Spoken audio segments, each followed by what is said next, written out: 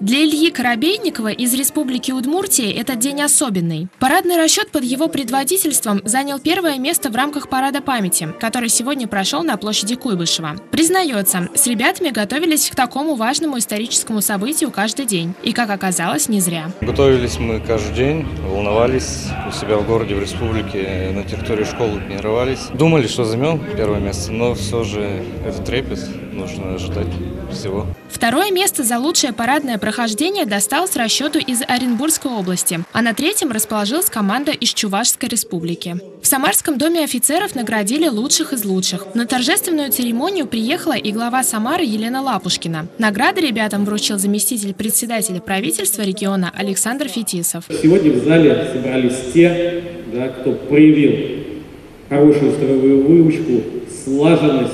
Мало быть да, хорошо подготовленным в индивидуальном плане участникам прохождения.